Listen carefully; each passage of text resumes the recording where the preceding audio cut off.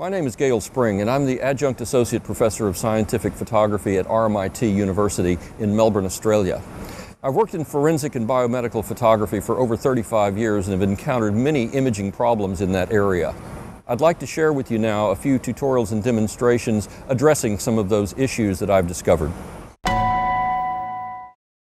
This tutorial is going to cover infrared and uh, ultraviolet mostly conversions for uh, modern cameras.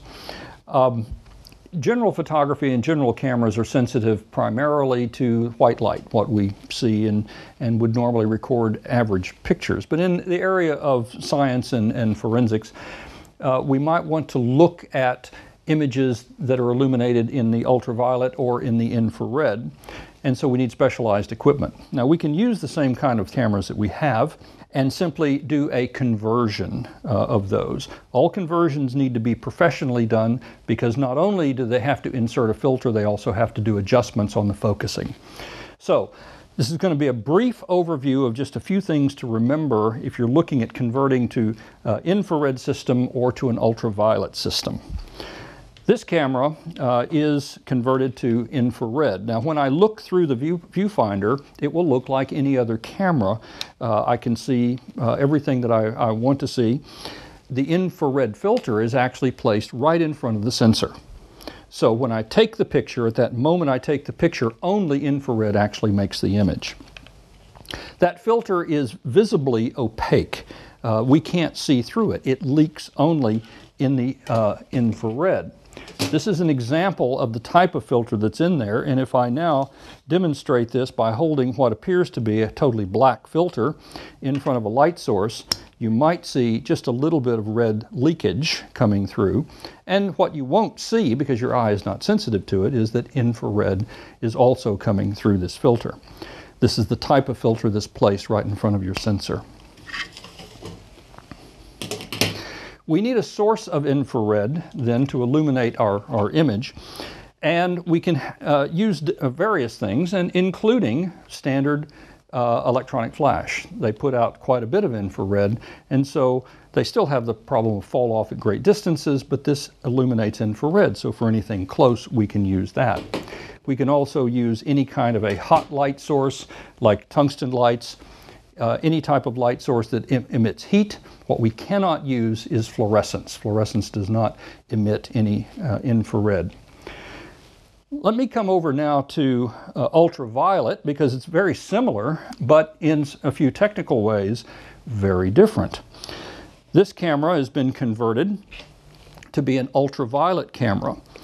Again, a filter has been placed in front of the sensor I can see through the viewfinder as if it's a normal camera, so I can focus and I can compose.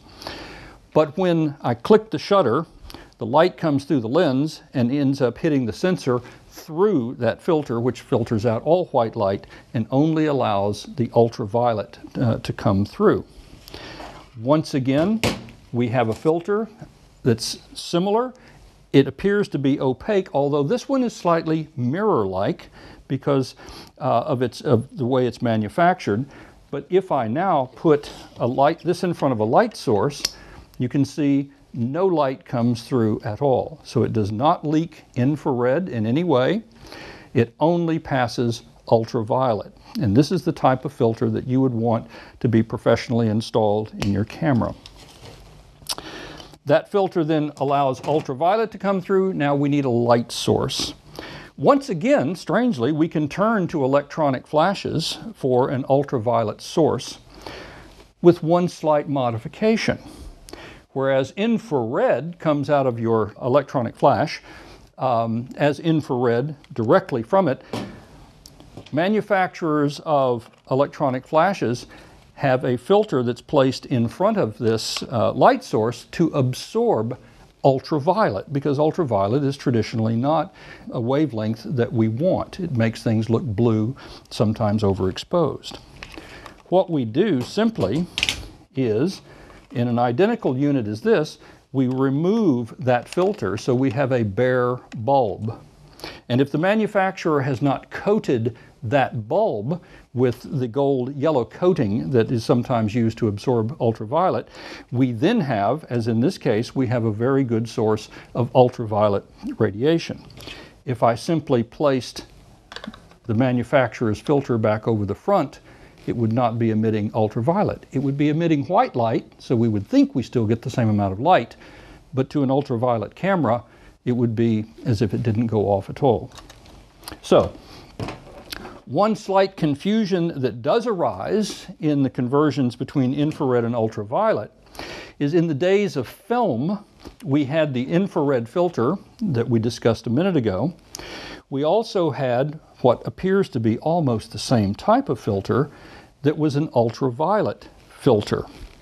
Now let me show you what happens when I put this in front of a light source. You can see that there is a little red leakage.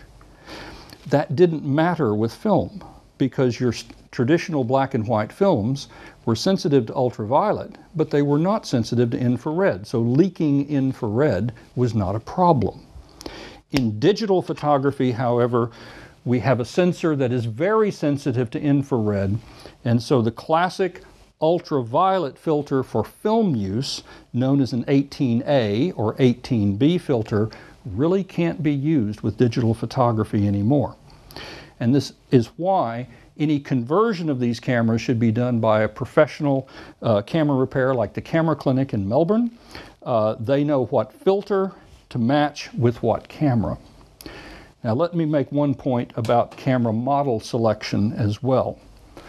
As manufacturers change from model to model, they make refinements in their traditional imaging uh, technology and in their sensors. Some sensors are inherently more sensitive to ultraviolet than others. And again, your professional camera repair uh, and conversion outfits will know which cameras and which filters actually will work well. Don't just decide that you're going to use a particular camera because it's no longer, uh, you're not uh, any longer using it, so you'll convert it. It may not actually work well. Now, just a few words on the lenses, the objectives that we're going to be using uh, on the cameras, a couple of things to consider. Uh, I discussed uh, the infrared conversion camera and uh, effectively any lens that you wish to use, modern uh, old lens will work just fine. They all pass infrared and that isn't an issue uh, at all. If you are, however, using ultraviolet, you need a lens that passes as much ultraviolet as it can, and most modern lenses don't pass ultraviolet because it's actually seen as a negative uh, rather than a positive. So you need to check uh, with the uh, people that are converting your uh, camera to be able to discuss what kind of lens might work best for your particular application. Uh, there's less choices in the ultraviolet end of photography than there is in the infrared end. Many of you in forensic science would already be familiar with the Rofin Polilight made here in Melbourne. Uh, this device emits different wavelengths of, of colors of light, uh, as well as it emits uh, in the infrared and in the ultraviolet, very appropriate for our camera conversions. Uh, but it's a wide spectrum uh, uh, light source that is used in forensic science to investigate and analyze different materials.